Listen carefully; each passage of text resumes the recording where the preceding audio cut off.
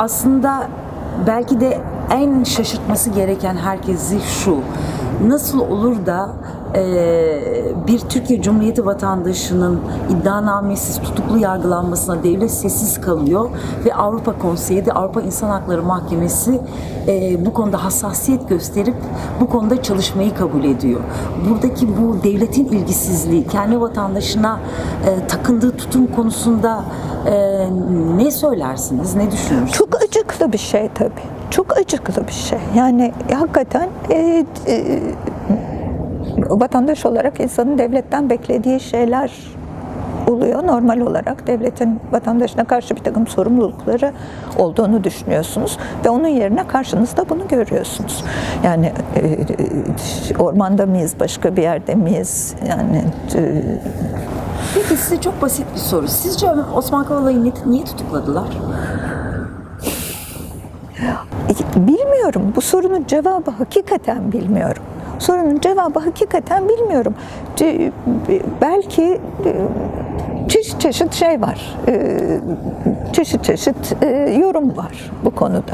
Mesela sivil toplum camiasına bir şey yapmak için, gözdağı vermek için, insanları korkutmak için diyenler var. Osman Kavala'ya bu yapıldıysa herkese yapılır. Ee, şey yorumları var mesela sizin söylediğiniz çok ilişkileri varmış diye.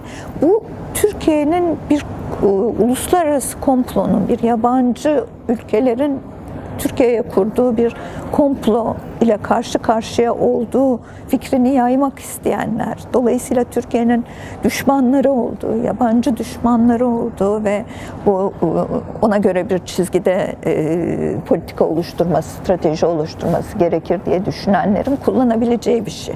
Bakın ne kadar karanlık bir adam. Türkiye'nin en karanlık adamı diye yazı çıktı Osman Kavala hakkında. Yani hani ben de bunu okudum. Düşünebiliyor musunuz? Yani Türkiye'nin en karanlık adamı. De- Ne demek istediniz bu, bu tanımlamayı görünce? Onu yazana ne demek isterdiniz? Hiçbir şey demek istemezdim, karşılaşmak istemezdim. Yani e, e, Allah karşılaştırmasın. Hakikaten görmek istemeyeceğim bir insan. Ama şaşırıyor insan böyle bir şey gördüğü zaman. Dünyanın en açık, herkese e, kapıları ve kendisi herkese açık bir insanına Türkiye'nin en karanlık adamı diye e, e, insanını o şekilde tanımlamak e, çok şaşırdım. Hakikaten çok şaşırdım. Yani Osman'ın karanlık bir insan olarak tanımlanması e, e, inanılır gibi bir şey değil ve sadece benim için değil, bütün arkadaşları, bütün onu tanıyanlar hepsi için aynı şey. Ee,